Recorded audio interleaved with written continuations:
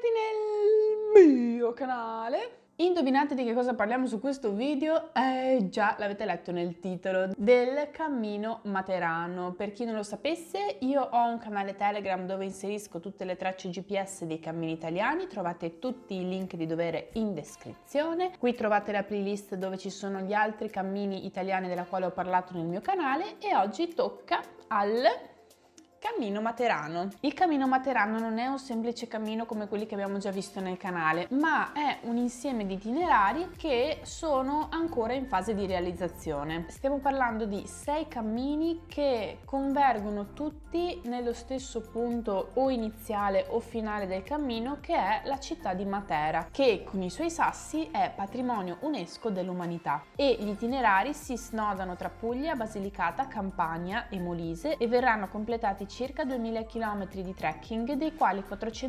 450 circa sono già segnalati e percorribili oggi. Questi itinerari sono la via Peuceta da Bari a Matera, la via Ellenica divisa in Terra degli Ulivi e Terra delle Gravine, la via Sveva da Trani a Matera, la via Ionica da Leuca a Matera, la via Lucana da Matera a Paestum e la via Dauna da Termoli a Matera. Attualmente sono percorribili solo due di queste sei vie, che sono la via Peuceta e la via Ellenica. Il mezzogiorno, a differenza del nord Italia che è attrezzato con eh, tantissimi cammini da percorrere, si sta attrezzando solo in questi ultimi anni e sono poche le vie che sono percorribili, tra cui la via Francigena del Sud che penso sia quella più famosa. In questa fase di realizzazione di nuovi percorsi per creare appunto un nuovo tipo di turismo, per portare il turismo lento nel sud Italia si è voluto creare questa rete di cammini che sono appunto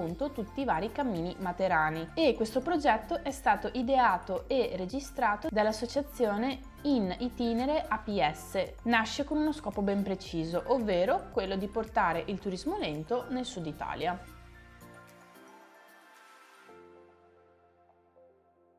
Come vi dicevo ci sono due cammini percorribili su sei che sono la via Peuceta e la via Ellenica. Oggi andremo a parlare di questi due qua. La via Peuceta si snoda da Bari a Matera per un totale di circa 170 km dividibili in 7 tappe, mentre la via Ellenica sono 290 km, tutte e due le vie messe insieme, eh, dividibili in 15 tappe. Quindi la via Peuceta si può percorrere in circa una settimana, mentre la via ellenica si può percorrere in due settimane. La via Peuceta parte dalla bellissima Bari e precisamente dalla Basilica di San Nicola, che è uno dei luoghi simbolo della religiosità in Puglia. Da qui, lungo le strade medievali, si passa attraverso la chiesa di San Felice e si giunge a Bitetto, per poi attraversare le foreste di ulivi che conducono a Cassano delle Murge. Da Cassano poi ci si immerge nel bosco della Mesola, per poi continuare tra creste creste rocciose, cavità carsiche, dolci pendii fino a Sant'Eramo in Colle e poi fino ad Altamura, ricca di testimonianze storiche a partire dalla cattedrale di Santa Maria Assunta del 1232 e famosa per il tipico pane cotto in forni di pietra. Infine, passando per il punto panoramico della Madonna della Stella e il santuario benedettino di Picciano, si arriva con l'ultimo tratto a Matera. La via ellenica invece si divide in due, la Terra degli Olivi e la Terra delle Gravine. Questi sono i due nomi dei percorsi che compongono poi la via ellenica e si parte dal percorso La Terra degli Ulivi precisamente da Brindisi che è uno dei più importanti punti di imbarco per la Terra Santa all'epoca delle crociate.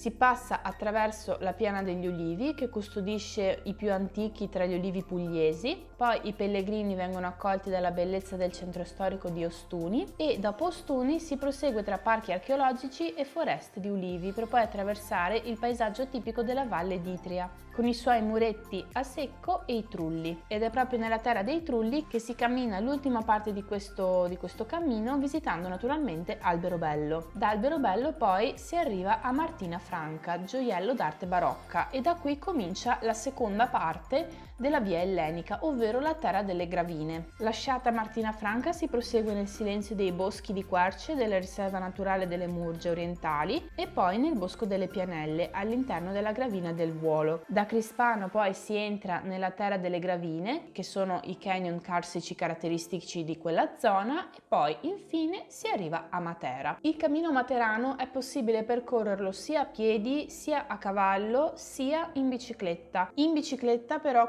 consigliano di seguire la loro guida ufficiale per leggere precisamente dove eh, prendere delle deviazioni che evitano magari dei punti più complicati da passare in bicicletta. Oppure si possono scaricare le tracce GPS e seguire le tracce GPS che tra parentesi trovate già nel mio canale Telegram, il link è sotto in descrizione. Esistono anche le credenziali di questo cammino, è un cammino pellegrino vero e proprio. Le credenziali infatti oltre a testimoniare lo status di pellegrino ci consente l'accesso a delle strutture ricettive oppure degli ostelli che sono presenti nel cammino e che sono dedicati appunto ai pellegrini del cammino materano. Grazie alla credenziale si potrà godere di uno sconto sia per l'alloggio che per alcune strutture di ristorazione che aderiscono all'iniziativa. Puoi richiedere la credenziale registrandoti al sito ufficiale del cammino materano che ti lascio sotto in descrizione per comodità. L'unica cosa è che due giorni prima del tuo arrivo a Matera, ovvero la fine del, del cammino, dovrai contattare il comitato cammino materano per avvisare appunto della tua data prevista di, di, di arrivo a Matera. Una volta arrivato a Matera, presentando appunto la credenziale testimoniando il tuo passaggio nelle varie strutture con i timbri, ti daranno, ti consegneranno il testimonium del cammino materano. L'applicazione di questo cammino non esiste ancora, esiste però il sito ufficiale fatto no bene meglio, spiegato in qualsiasi dettaglio, quindi eh, vi lascio direttamente sotto in descrizione il loro sito ufficiale, poi potete andare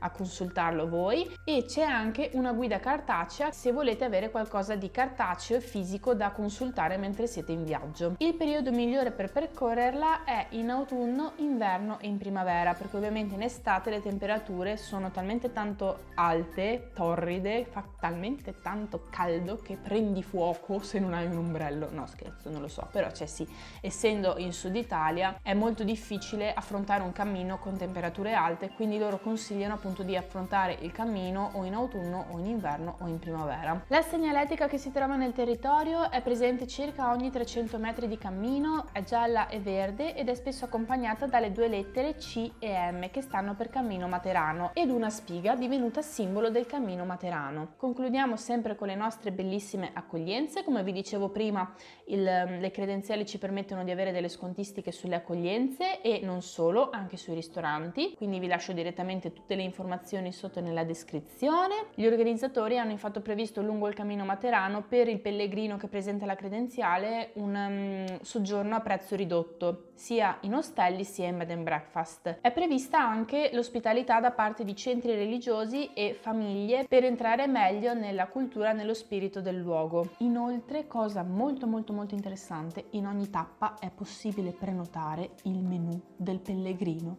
Bene ragazzi, siamo arrivati alla fine del video, spero che vi sia stato utile. Se avete qualsiasi altra domanda non esitate a farmela nei commenti. Iscrivetevi al canale se volete avere altre informazioni riguardanti i cammini italiani e fatemi sapere se avete già percorso il cammino materano, ovvero la via Peuceta oppure la via ellenica, una delle due perché sono molto curiosa di sapere come sono questi cammini poi percorsi una volta percorsi perché secondo me Matera è una delle città più belle che abbiamo qui in Italia, quindi non vedo l'ora di farli anch'io e vorrei sapere da parte vostra se per caso li avete già fatti, che esperienza avete avuto. Il video si conclude qui e noi ci vediamo alla prossima.